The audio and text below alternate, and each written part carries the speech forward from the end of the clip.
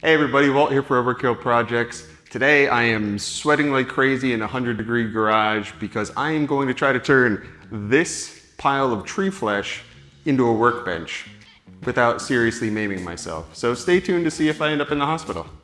Let's go.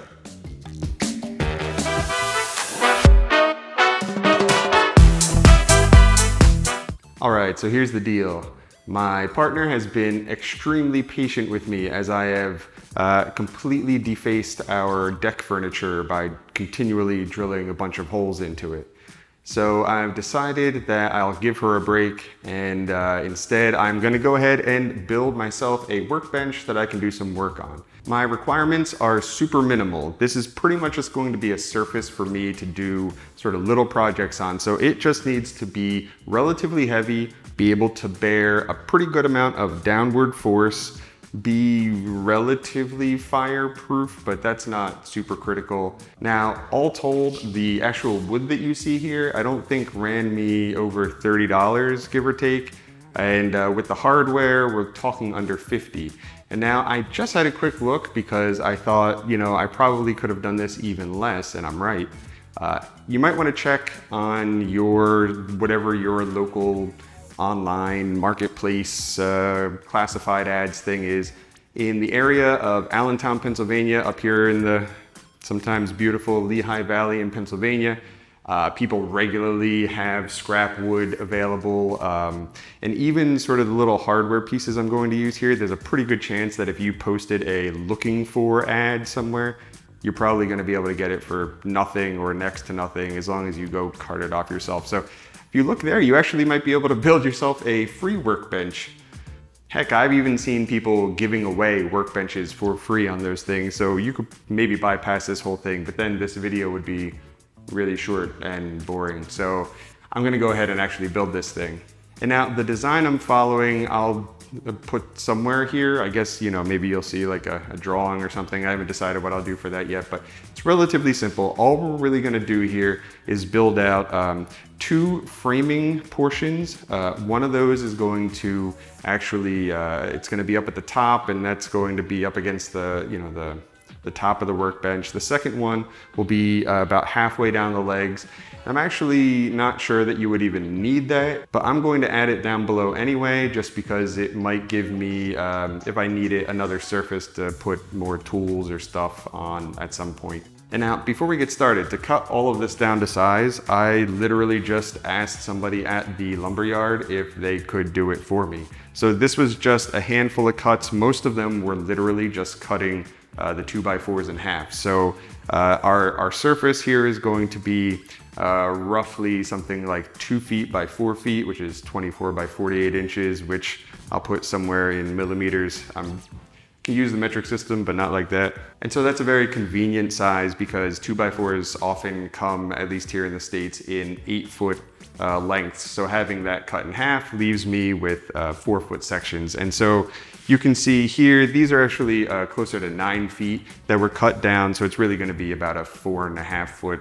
And these are two by sixes so that four of them across is going to give us uh, about two feet worth of width for our table here. Over here we have uh, eight foot lengths of two by fours that were just cut in half. So these are four feet each. These are just going to be for the frame.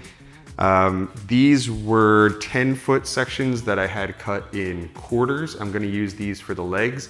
Now, when you build yours, you want your uh, the height of the table, the final height of the table to be somewhere between maybe 32 and 36 inches, depending on your height. And so all that left me with was the cross beams for the framing part of this. Uh, and that's what you see down here. Now each of these I did 22 inches long, taking into account that there's gonna be an extra three or four inches on, you know, total width of that when I bang on the, the, the other four foot frames. Okay, I think that's all the background you need. Somewhere in here, I will put up sort of a little thing that shows you what each size was just for the record. And again, I'm gonna link in somewhere, maybe down below, the actual plans that I'm using for this, uh, so that if you wanted to follow those, you could.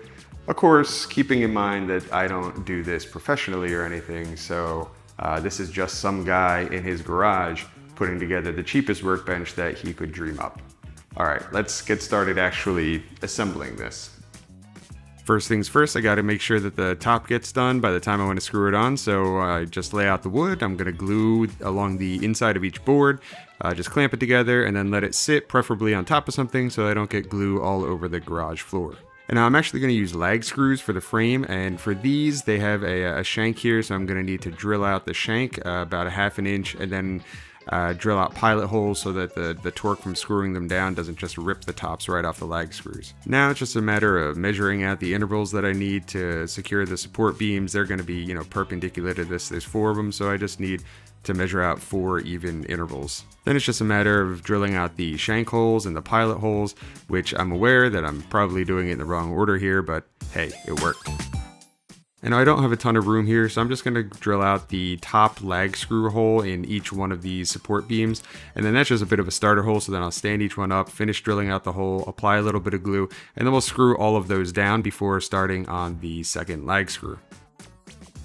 And now that those are all fastened down, I'm just going to go ahead and drill out the holes for the second lag screws and screw those all in. So far so great, now it's just a matter of flipping this bad boy over, drilling another set of holes and, you know, securing away, uh, just making sure that everything looks more or less in line as I screw everything down. This is certainly not a precision job, so it's pretty much just get things the way I think they should look.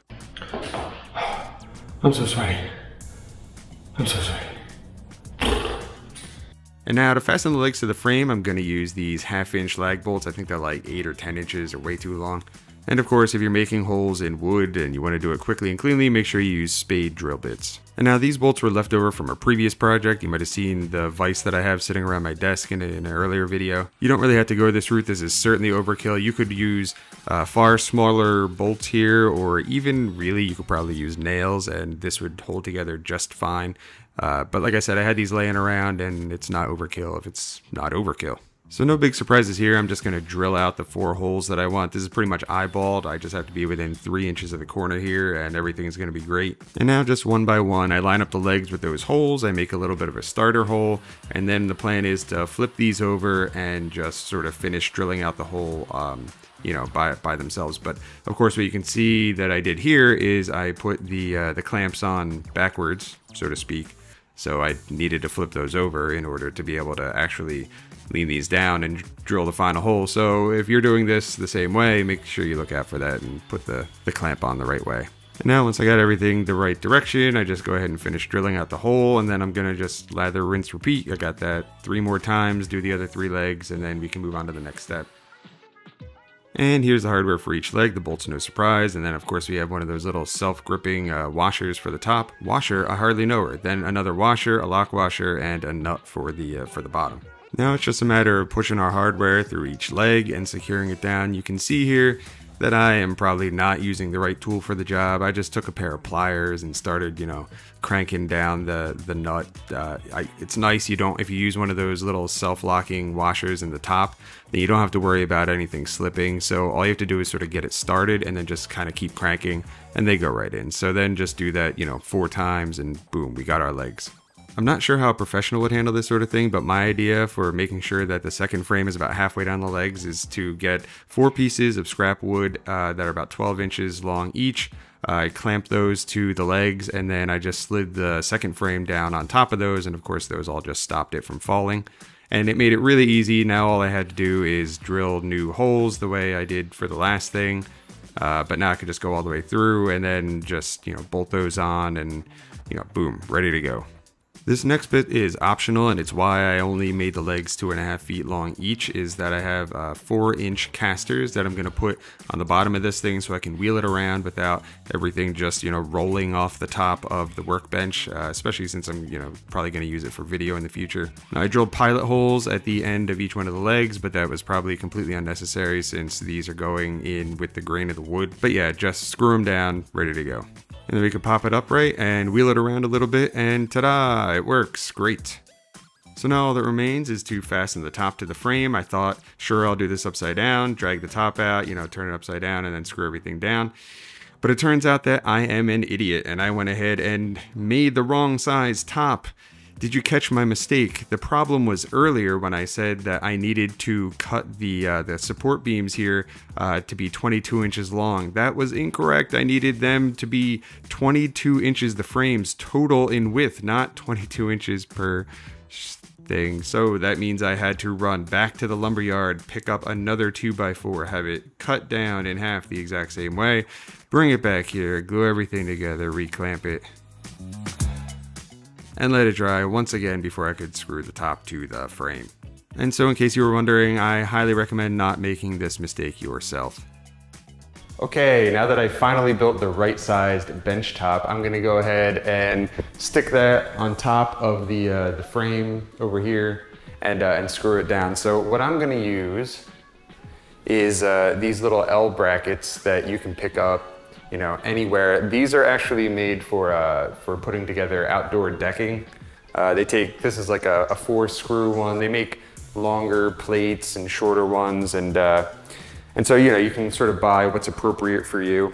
You can just use little 45 degree triangles, wedges of wood like this, and then just sort of, you know, prop it between the two pieces and, and nail that way or even use wood screws to secure the top to the, to the frame. And of course, that's a much cheaper option and it's really probably just as good as what I'm doing here uh, for the type of thing that I'm going to use this for. I don't need that much strength. Honestly, I probably could have put this entire thing together with nothing but nails and wood screws and it would have been fine, but you know, it's called overkill projects for a reason, so it's overkill.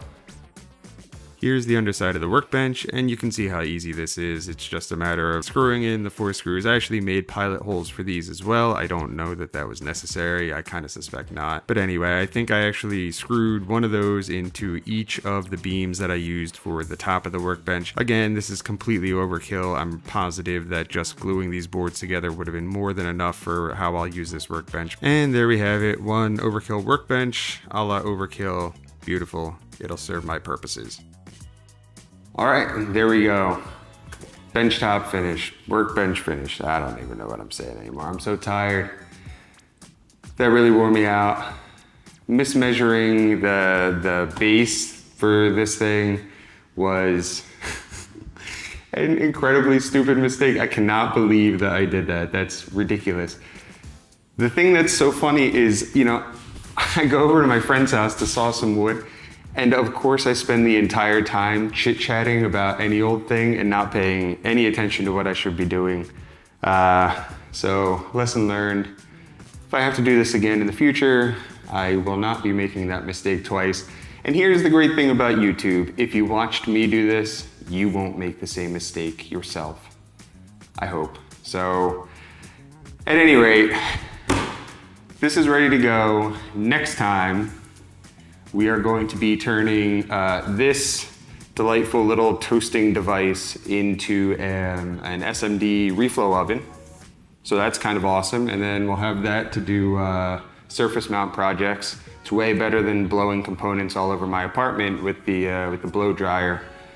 So hopefully that one will go more smoothly. I imagine it will go more smoothly than uh, building this workbench did. Uh, but hopefully watching this you learned how maybe not to do a bunch of things if you're doing this sort of project for yourself.